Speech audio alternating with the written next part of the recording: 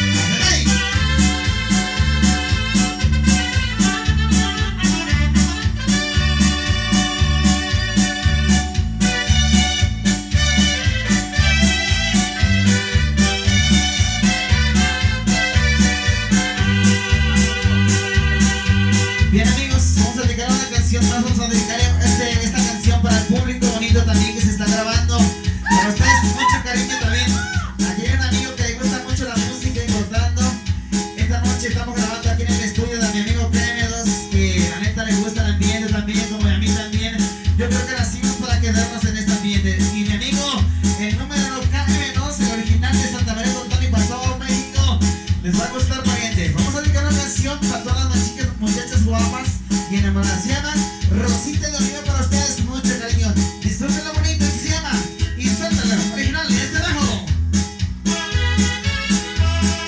¡Eso! Allá qué bonito, amigo Checho. Allá está Atlético.